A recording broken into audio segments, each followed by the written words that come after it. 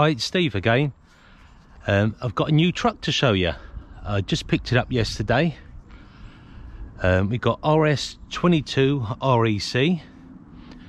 Uh, so it's a DAF XF 530.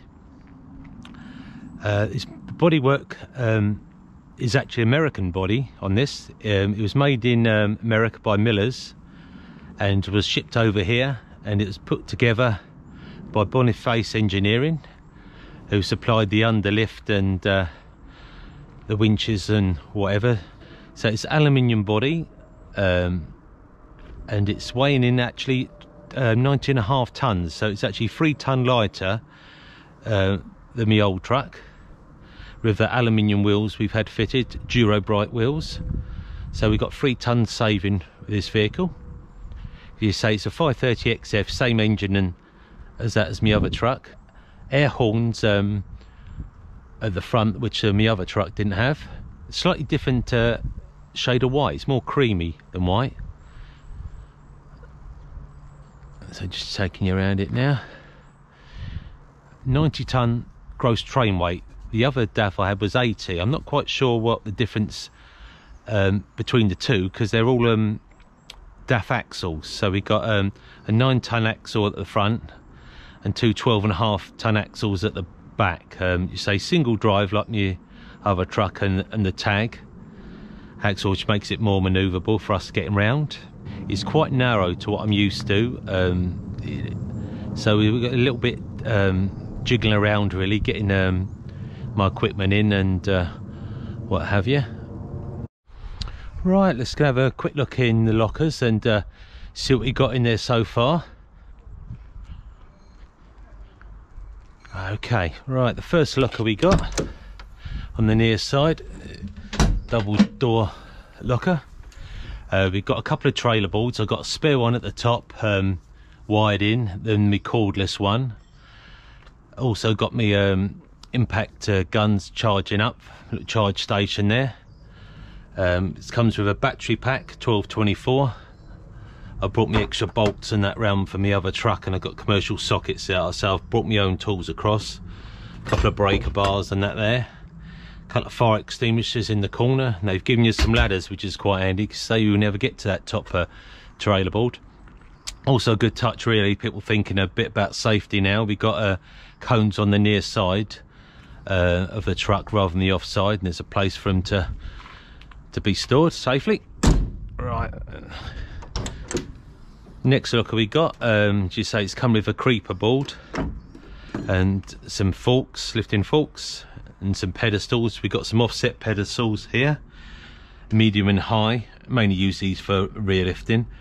And um, yeah, the chains we got, couple of heavier duty chains and the, the slightly lighter rated chains. These chains here are not lifting chains, these are just sort of securing chains um, to, to um, chain down the, the axles uh, onto the lifting forks, I should say. And some uh, tensioners there. Right, we got in the next lock here. This is me tools uh, I've, I've, put in here in the drawers. Um, a little bit smaller than what I'm used to actually. The This um, toolbox um, is custom made, this one, but you say the way the way the body's designed, um, you couldn't really get a bigger toolbox in there. So um, yeah, that's just have to make do really. I would like to put all my tools in one, me breaker bars. Perhaps I might have to move a few things around, make things a little bit more um, easier for me to uh, work with. Got aluminium wheeled stands, which are nice and light compared to my steel ones. And uh, this is a cleaning station we got.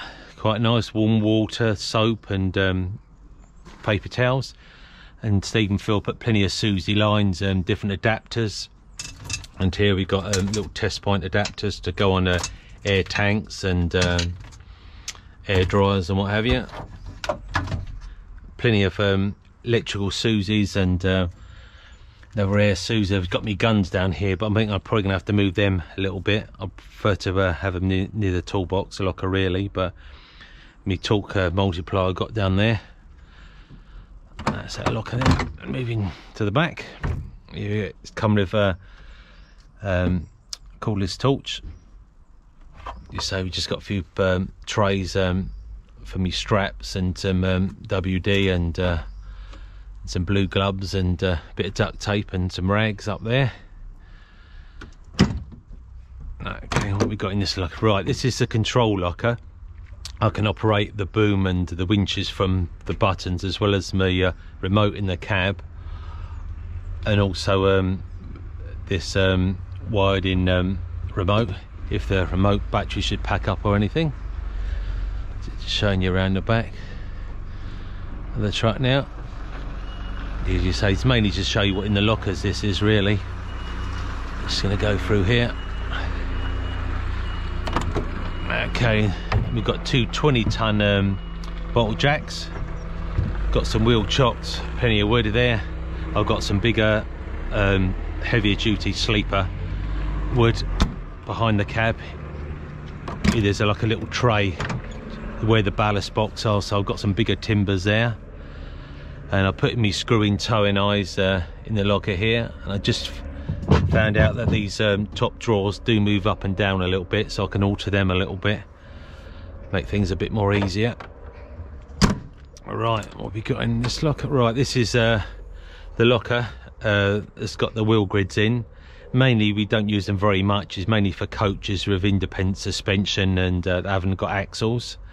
A little bit heavy to to operate so I'm gonna have to get these uh, out in a little bit and go through them make sure everything fits in and I'm quite familiar how it all fits together before we actually do it uh, live on the job. Make sure everything fits together nicely. Okay let's have a look in this locker. Here We've got um, a ladder we got a broom and shovel on that and normal kit wrecker kit with a saw. This is um, fifth wheel coupling adapter. Half shaft covers chain tensioner a couple smaller um, scaffold poles give bit more leverage. You say I've got some holes here actually so uh, I might um, try and use them for move the forks around a little bit when the other two uh, pairs of forks comes put some forks there that may not be used so much that side gives a bit more room. Right we've got some nice um, lightweight snatch blocks actually. As you say they're made in America these ones by looks of things. And um, yeah we've got four of them there. Of chains all all rated so we know exactly what um, safe working load of them are some sh nice shackles. Plenty of shackles and that it's like Steve's dropped a spare towing eye in for us there that's quite handy. An extra towing eye that side just got some bag of rags I've put in there for now until I work out where everything goes. Yeah nicely uh, finished off uh, these lockers actually. I must say actually they feel very solid and that. They're a little bit narrow to what I'm used to but I just got to get uh, a bit used to it a little bit. Yeah plenty of um, slings and straps and say all rated or so we know exactly what the safe working load we're putting through them some granules and uh, some um, mats and that to absorbent mats. There we go that's what we got in the locker so far. I've got to move a few things around and get it how I how me liking so uh, but you say I'll probably jump up in the cab shall we? Show you what's in here. Very similar to my other cab. It says the DAF X530 it says the last of the these cabs. Is a new version of uh, DAF cabs are in there now but they still don't um, produce any more horsepower. This is the biggest engine. They do a 530 I've got double bunk here. Um, some nice seat covers actually. I like these actually. They're not the, the DAFs underneath but yeah these are quite quite nice actually. Makes the DAF quite well. Yeah so we've got double bunk here fridge plenty of storage space. We've got two cameras here actually. This is a camera that obviously Boniface uh, fitted I take it. And uh, we've got Pioneer stereo. We've uh, also got um, navigation sat nav when I can know how to work that. And also we got a quite nice four speaker stereo. Uh, we've got big old remote control here actually but it is rechargeable unlike the other one which I had to keep putting batteries in every uh, month or so. So that's rechargeable which is quite nice.